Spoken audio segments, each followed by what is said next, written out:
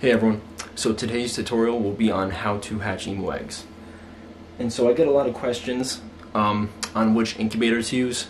And so I always recommend the Hova-Bator or the styrofoam ones because they're cost efficient. They're only 40 or 50 bucks at your local feed store. Um, but if you're not on a budget, you can always use the Sportsman um, because I have had better hatch rates. Nothing significant and maybe not worth $600. Um, but those are your two options.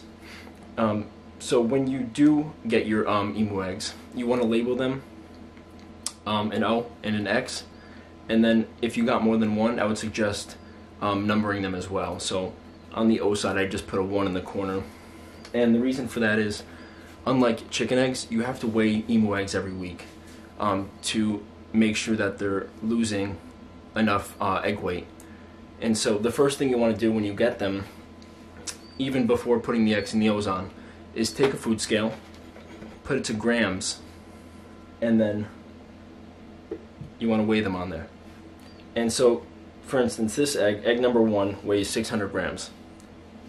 Um, you want them to lose about 15% of the egg weight um, by the end of the um, incubation period.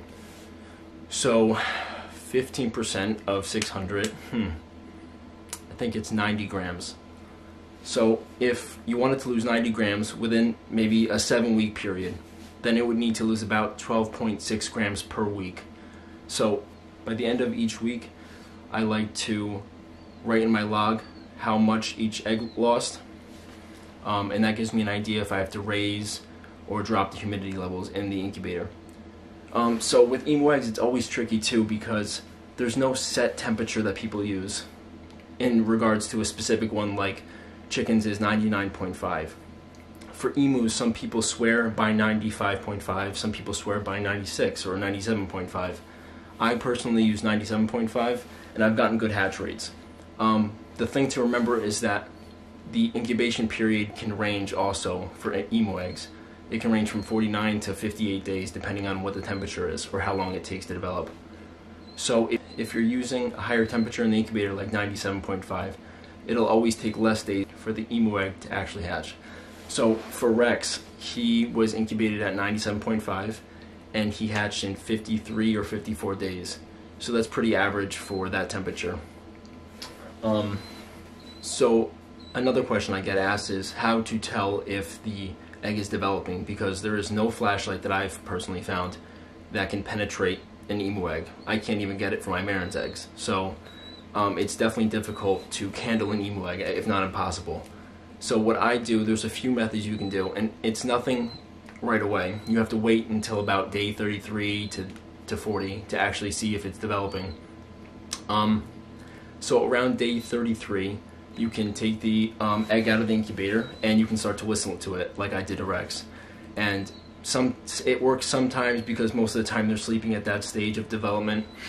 Um, so sometimes they'll wiggle. So you can do that maybe a couple times a week to check if you know the eggs are wiggling or if um, or if they're developing properly. Uh, another thing I like to do is the cool test, and you can just put the egg on the counter for three five minutes to let it adjust to room temp, and if the emu is actually developing in the egg, um, it'll gravitate towards one end of the egg, um, and it'll make that end warm. So you can actually feel it and see if it's warm or not.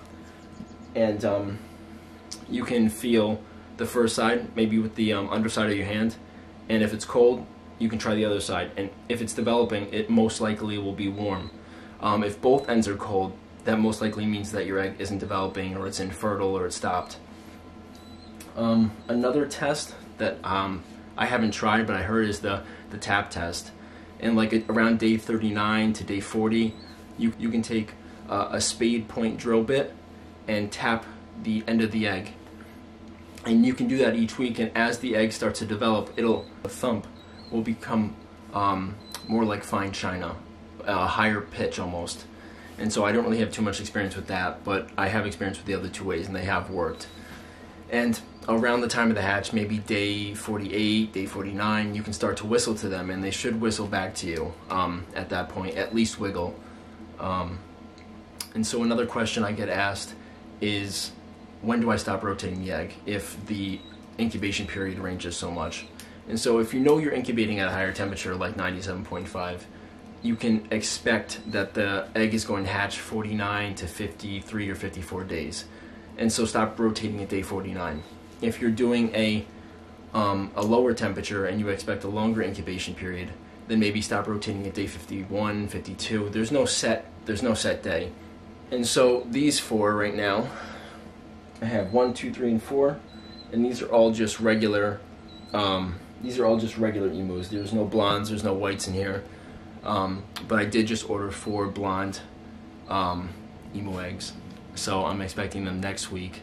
So hopefully I get a good hatch. Um, and so I weighed all of these eggs, and they all weigh between 550 and 665 grams. And so I'm going to log them every week.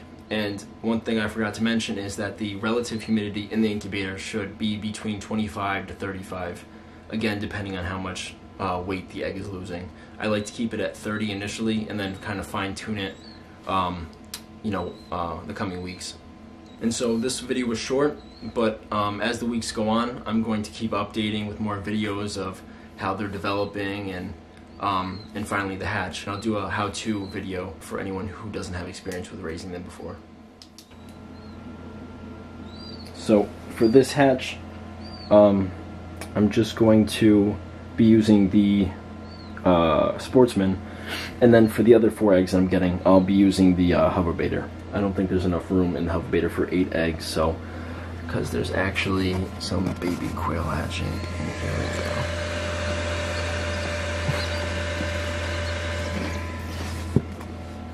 So I will definitely keep you guys updated on these four eggs and then the other four as well.